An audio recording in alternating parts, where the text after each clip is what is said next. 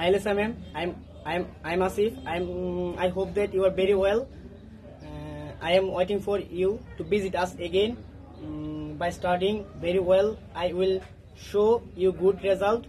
Advance wishes for Idul Fitr. Tata.